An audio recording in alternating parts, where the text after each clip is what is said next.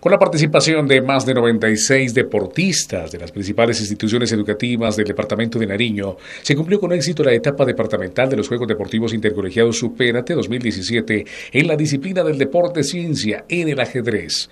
El epicentro fue la sede del Sindicato del Magisterio de Nariño, Simana. Hubo una gran asistencia de varios municipios, estamos con 96 deportistas en las seis diferentes categorías, lo que es la categoría infantil en ramas masculina y femenina, lo mismo con prejuvenil y juvenil. Los chicos están buscando los cupos para la final nacional que se desarrollará en el mes de octubre en Cali. De igual manera, el Deporte Ciencia estará en competencia a nivel nacional este fin de semana en el eje cafetero, con más de 15 deportistas que afrontarán un total de tres categorías. Va una gran delegación de Nariño, la delegación más grande que ha participado en un torneo nacional. Estamos ahorita confirmados 12 deportistas en las categorías sub 8 hasta la sub 18. Van a participar en el Nacional de Activo y Blitz.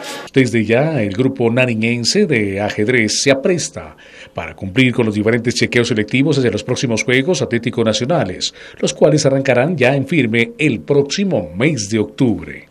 Sí, eh, en este caso tenemos 96 inscritos. El año pasado participaron 60 deportistas, o sea que es un incremento bastante grande, ¿sí? del 50%. Y el nivel también ha incrementado muchísimo. Eh, están haciendo buenos procesos los diferentes deportistas y también se los está invitando a participar con el proceso que estamos llevando acá desde la Secretaría de Recreación y Deporte.